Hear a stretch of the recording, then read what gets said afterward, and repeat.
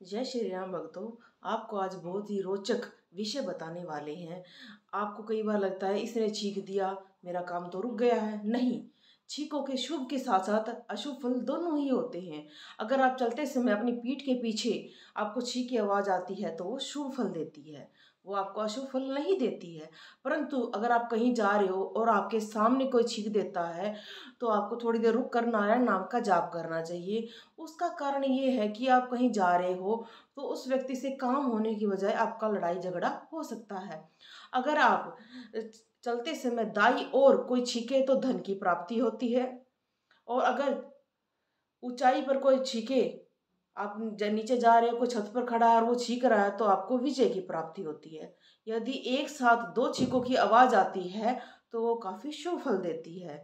अगर आप भोजन कर रहे हो औषधि कर रहे हो, बीज बो रहे हो, कोई भी शुभ काम कर रहे हो तो अगर आपको छीक आ जाती है तो वो भी काफ़ी फलदायक होती है।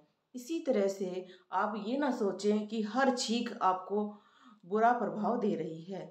दो बार छींकना काफ़ी अच्छा माना जाता है।